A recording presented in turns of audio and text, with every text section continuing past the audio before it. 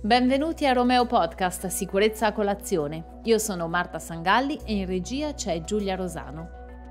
Quest'oggi iniziamo la nostra storia di sicurezza con una frase di James Reason, uno dei massimi esperti di sicurezza, creatore del modello Reason di previsione degli incidenti.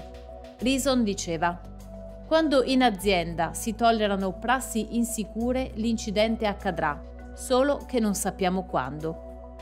Reason va oltre le singole azioni, esamina le debolezze dell'intero sistema e ancora i comportamenti al contesto in cui è avvenuto l'incidente. Uno degli studi più famosi di questo autore è quello sul disastro della centrale nucleare di Chernobyl. Ne parliamo con la dottoressa Carmelina Morrone, formatore nell'ambito della sicurezza, che alla laurea in diritto del lavoro ha aggiunto studi in psicologia del lavoro. Sì, infatti uno degli studi più famosi di questo autore è quello del disastro della centrale nucleare di Chernobyl. Reason dimostrò che le violazioni compiute erano delle prassi non sicure che avevano sostituito la procedura di sicurezza. Come mai? Perché la loro applicazione pratica ripetuta nel tempo non aveva mai dato problemi, quindi nessun danno si può fare e continuiamo a farlo. Applicando il modello di Reason si può dire che quando in azienda si tollerano prassi insicure, l'incidente accadrà, solo che non sappiamo quando. Nonostante gli studi di Reason, che risalgono agli anni Ottanta, sappiamo che le cronache quotidiane raccontano che c'è molto da fare per estirpare le cattive abitudini. Carmelina, il caso Chernobyl è citato anche come esempio di management che prende decisioni sbagliate. Ecco qua Reason, anche in questo caso, collega le decisioni prese al contesto che era il seguente.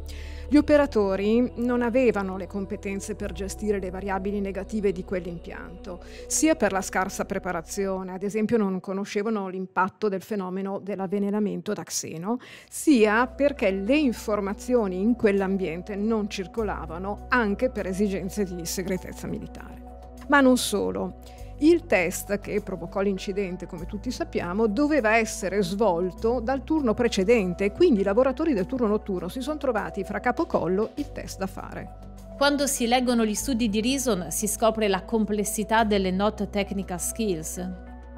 Sì, a proposito di Chernobyl facciamo subito questo esempio. A seguito dello scoppio del coperchio del reattore, gli operatori vollero capire se ci fosse stata una fuga radioattiva presero gli strumenti a disposizione, i quali misuravano 3,6 Röntgen ora, un valore che indicava una dispersione molto limitata. In quel momento, con l'impianto distrutto e un incendio in corso, gli operatori si aggrapparono a quel dato, tra virgolette, rassicurante. Le squadre di emergenza, giunte sul posto, avevano altri misuratori, che però rilevarono 15.000 Röntgen ora. Perché questa differenza? Nella centrale nucleare gli operatori avevano a disposizione misuratori che potevano rilevare al massimo 3,6 Röntgen ora. Insomma, per avere la consapevolezza della situazione, gli operatori stavano raccogliendo dei dati, peccato che avevano strumenti inadeguati. Ma allora ti chiedo Carmelina, quando sono davvero efficaci le not technical skills? Sono efficaci quando sono all'interno di un sistema efficace insomma, mh, mm, cos'era successo? No? Lo dimostra il caso eh, dei misuratori. Eh, esempio, se noi dovessimo misurare la temperatura di una stanza e abbiamo a disposizione solo un termometro che arriva a eh, 20 gradi, eh, noi mh, mm, facendo questa misurazione stiamo una, no, avendo una consapevolezza della situazione, solo che abbiamo a disposizione uno strumento inadeguato perché per noi quella stanza misura 20 gradi. In realtà, se poi adoperassimo un altro strumento che va fino a una scala più ampia, a 50 gradi, eh, rivelerebbe una temperatura di 35. Quindi ecco perché si dice sistema. Sistema proprio perché l'azienda deve poi fornire tutte le strutture, gli apparati perché ci sia efficienza. Grazie Carmelina per questa narrazione interessante e approfondita degli eventi.